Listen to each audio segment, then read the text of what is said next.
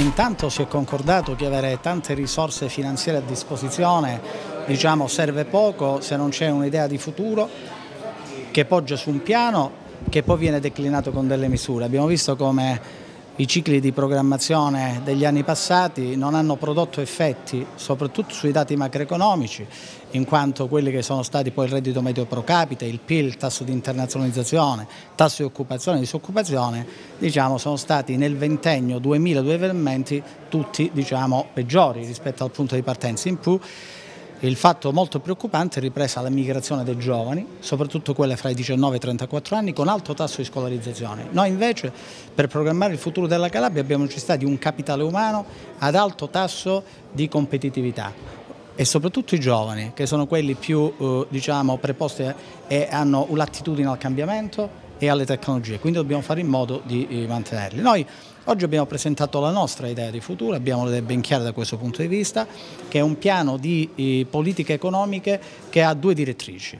Una direttrice deve essere di contenimento e anticiclica, quindi da qui a brevissimo credo che sia necessario mettere in campo delle misure sulla liquidità, magari utilizzando Fincalabra, perché l'autunno sarà particolarmente difficile e complesso, le imprese hanno necessità di liquidità per fabbisogni di cassa, per riequilibrio finanziario eh, o anche per fare riconversione e rimodulazione delle proprie attività produttive. Però bisogna anche pensare ad azioni espansive, quindi bisogna pensare al futuro, quindi sono due facce la stessa medaglia.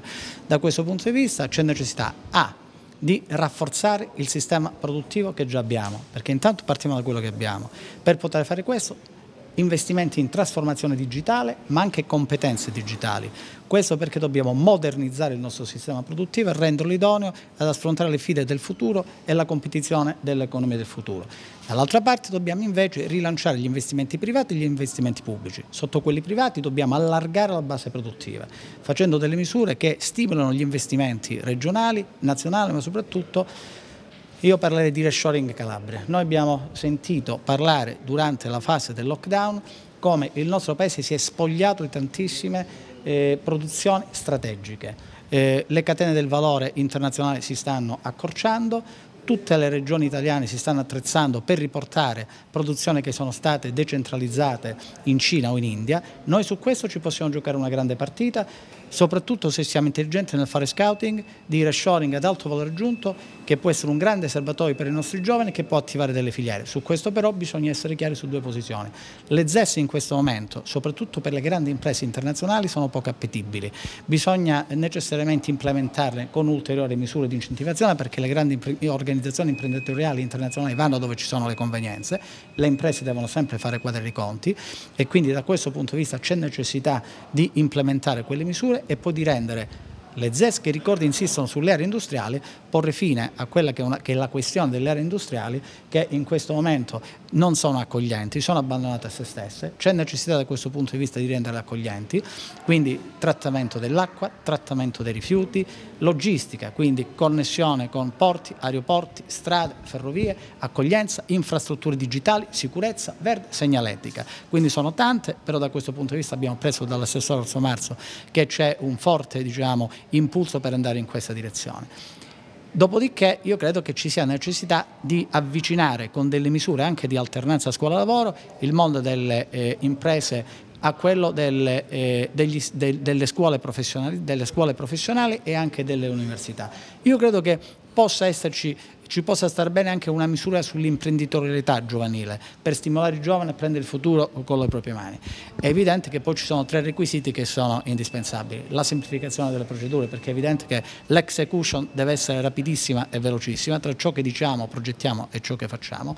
E poi è evidente anche che c'è un altro elemento che non può essere trascurato, e cioè le infrastrutture. Da questo punto di vista opere pubbliche, certamente il completamento della 106, l'elettrificazione della linea ferrata ovviamente della, eh, della parte ionica, però tre in particolare sono fondamentali. Alta velocità, non quella che ci stanno propinando che è un ammodernamento della linea diciamo, attuale, ma deve fare in modo la large che faccia Reggio Calabria, Roma in tre ore, eh, il porto di Gioia Tauro che deve essere un attrattore di investimenti per il retroporto, quindi non solo stoccaggio ma anche produzione e a mio avviso eh, grande area logistica sia eh, eh, area ex SIR di Lamezia Terme sia Porto Gioia Tauro da tenere molto eh, diciamo da monitorare molto attentamente il gateway ferroviario del Porto Gioia Tauro perché quello è fondamentale. Infine o adesso mai più ponte sullo stretto.